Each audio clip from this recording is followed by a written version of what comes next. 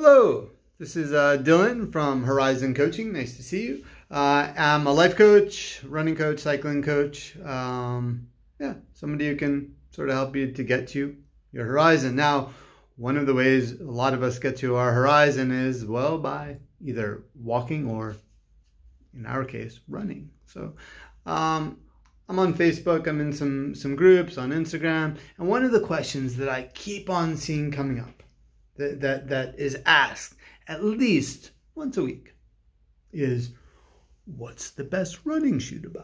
Or more specifically, what's the best trail running shoe to buy? Well, I have some thoughts on that. Now,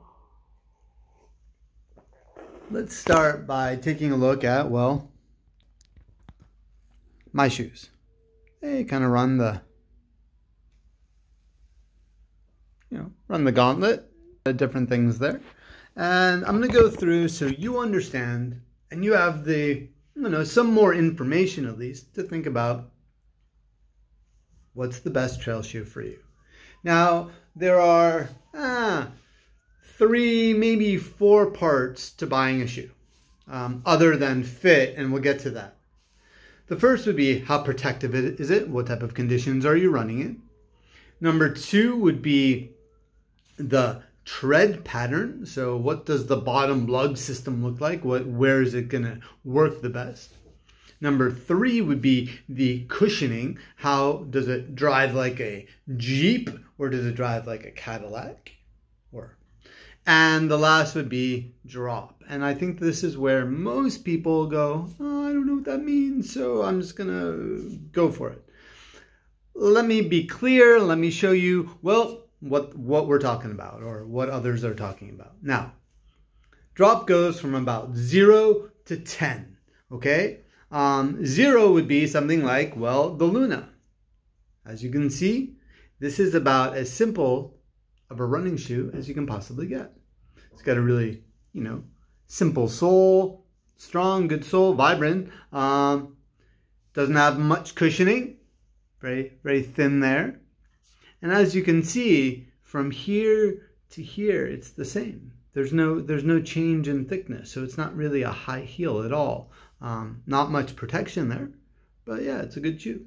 It's a good shoe for, you know, for me, for shorter runs, for recovery runs, um, just to make sure that my tr- stride is getting better and and and, um, and keeping a neutral running stance. Okay, so that's the Luna.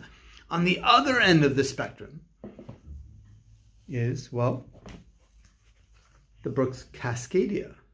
The Brooks Cascadia has got some more cushioning, as you can see. Well, it's got a full cover for your feet, which is what you know most trail running shoes are going to have, with the exception of something like the, the Luna. And the biggest difference is that from here to here, there's a 10 millimeter gain. Okay, so that means your foot is no longer running like this or landing like this, it's running like this and landing like that. What that means is you are protecting a little bit, if you're not very flexible, your Achilles. Why? Because you're not you're not overstraining it, especially when you're doing like a fast uphill and maybe heel striking a little bit. You're not overly extending that Achilles on your on your ankle. So this is the Brooks Cascadia. It's got some some cushioning, you know, a pretty pretty good tread, some lugs there, and um, yeah, probably one of the, one of the most used, well-known shoes out there for a trail runner. Can't go wrong with your first trail shoe being a Brooks Cascadia. Now, um, you know, the next, just another one to take a look at would be the La Sportiva Ultra Raptor. If you're running in a place that is really rocky and you just uh, you need something that's just a little bit beefier, you can see that the front end of this has got some some uh, rubber there to kind of protect the top of the shoe, which, you know, tends to take a lot of the impact when you're running, especially up uh, rocky and, and steep, uh, rocky conditions. It's got, you know, again, a pretty luggy sole. The, the lugs are pretty well spaced apart. Um, you know, and it's, it's, it's a pretty rigid shoe. So that means you're, you're not going to feel much of the impact coming up. And this one has nine millimeters. So this goes from here to here, nine. Um, the next would be the Lycian. just has six. This is a good shoe up until about 10 kilometers. It's funny, at 10 kilometers, your feet just start to get tired. It's, it's great for a short run. So um, it's a very simple shoe, not, not a lot, not a lot going on with it. And it's really, really comfortable, but uh, yeah, just, just not a really good, great long distance shoe. Um, the next, and I'm going to show you two at the same time just to confuse you, are the Scott Kinabalu and the Hoka Challenger. What's interesting about these two shoes is that, well, they have the same drop. The drop from here here is five on this, and well, five on this. The difference being is, well, I was talking about it at the beginning, cushioning. This shoe has a substantially less cushioning. It's a pretty, you know, soft, easy to run shoe. It's great to run in, um, but you're going to feel a little bit more impact with less cushioning. Here, you got a lot of cushioning.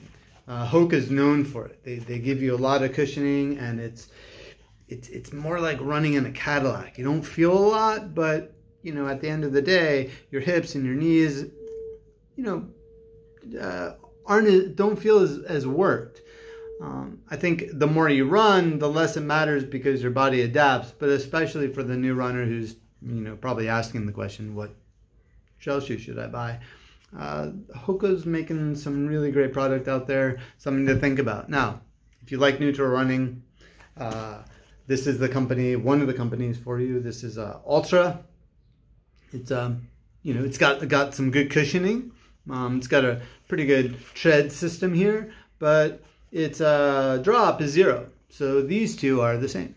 Um, ultimately, this shoe just has a cover and some more cushioning, but these two are going to run the same. So they force you to run uh, in a neutral position where you're not, um, you know, heel striking.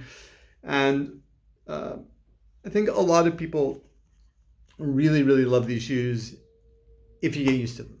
Um, and the, these come the, the the box actually comes with a warning that says don't go out and run a hundred with these first. Why? Because we're so used to um, uh, running with or wearing shoes that have a well a drop you know that 10 to to zero as opposed to zero to zero you know? Um, so if we're so used to this even in our everyday shoes whether they're heels or cowboy boots or what have you um, it takes some transitioning to do this or you you're you are looking for an injury. You're saying hey I'm, i want to hurt myself. So eh, advice. Probably don't go that. The next thing that i would the last thing i just want to say would be one of the things that that can be really really useful for somebody who's transitioning from you know road running to trail running where you have a lot more uh, off camber conditions one stretch that is really, really useful that my PT taught me when I was recovering from an injury. You know, um, probably running in the ultras too much on the first try, is put your foot out, use PT tape, and just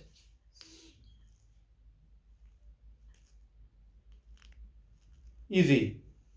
Leg straight, just push, it works the calf, works the uh, IT band, and really helps to strengthen your ankles, which is, you know, something to think about. Now, thank you for listening. Have a great day. And if you're looking for a life coach or running or cycling coach, email me. Thanks. Ciao.